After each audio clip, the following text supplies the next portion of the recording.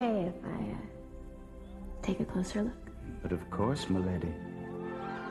You might notice the fine craftsmanship.